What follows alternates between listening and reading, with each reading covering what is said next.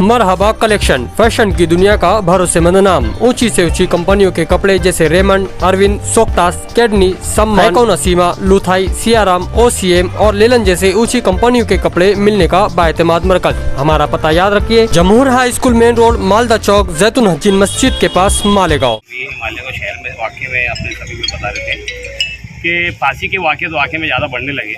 और जैसा आज मेरे भाई रोते रोते बोलने लगे मेरे बच्चों को क्या होगा? ठीक है इनको तकलीफ़ है, उनकी घर वाली चलेगी उन्होंने सोची नहीं। तो जो भी ऐसे आसत करते हैं, उन्होंने सोचना अपने पीछे की ज़िंदगी छोड़ के जा रहे हैं, उनकी भी हालत देखना चाहिए।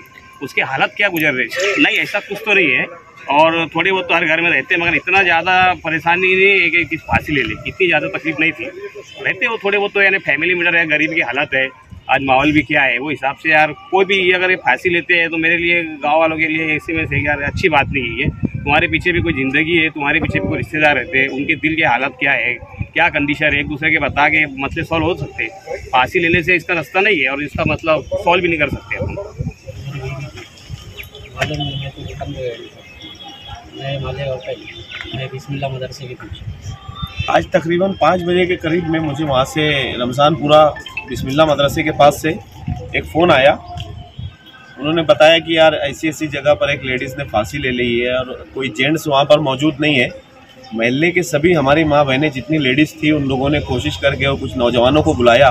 वहाँ पे हमारे न्याज अली भाई और उधर उस वार्ड के कॉरपोरेटर जब्बार मेंबर साहब उन लोग स्पॉट पे पहुँचे।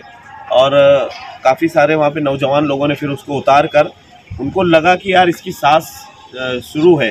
तो उसको ले जाने के बाद उन लोगों ने फ़ौरन सारा हॉस्पिटल लेकर गए। वहाँ से भी मुझे कॉल किया।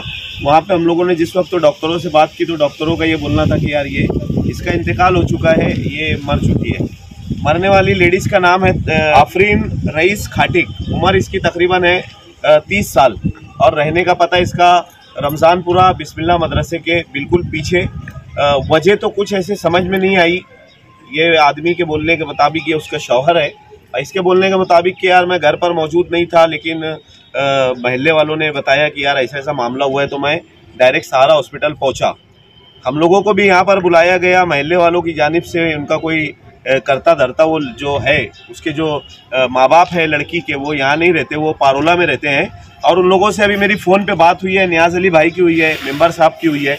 तो हम लोगों ने उनको बोला कि कानूनन ऐसा है कि आप लोगों को यहाँ पर आना पड़ेगा। तो आप लोग फ़ौरन यहाँ पर पहुँचो। तो उन लोगों ने कहा कि यार, एक से डेढ़ घंटे में हम लोग पहुँचते हैं। तो शायद वो लोग आ जाए। तो उसके बाद पुलिस वालों को भी हमने कॉल किया है। रमज़ानपुरा पुलिस स्टेशन के एपीआई साहब को भी बोला है। वो अभी वहाँ से रमज़ानपुरा पुलिस स्टेशन के जो कर्मचारी हैं, उनको भेज रहे हैं। और जो भी कानूनी प्रोसीजर होगा, उसके बाद पीएम वगैरह करने के बाद जो भी मामला रहेंगे, वो आप लोगों के सामने रहेंगे। अपील मैं अब नहीं करूँगा क्योंकि अपील हम लोग कर कर के लोगों को बता बता के हम लोग भी थक गए हैं। जितना लोगों को बोलते हैं ना तो लोग उतना ज़्यादा मतलब एकदम अब लाइन लगा देते हैं। मालेगांव शहर में एक पैटर्न चलता है, अगर किसी ने फांसी लिया तो फांसी। कोई पानी में डूबा तो पानी में डूबते हैं। कोई हाईवे पे एक्सीडेंट होता है तो हाईवे पे एक्सीडेंट होने लगता है। तो हम लोग अपील तो नहीं करेंगे, लेकिन फिर भी गुजारिश करते हैं कि ऐसे कोई हादसा ना होने दे। और मालेगांव शहर के जितने भी सोशल वर्कर, सियासी लोग हैं वो ये सब चीज़ में आगे बढ़कर इसको रोकथाम करने की कोशिश करें। शुक्रिया।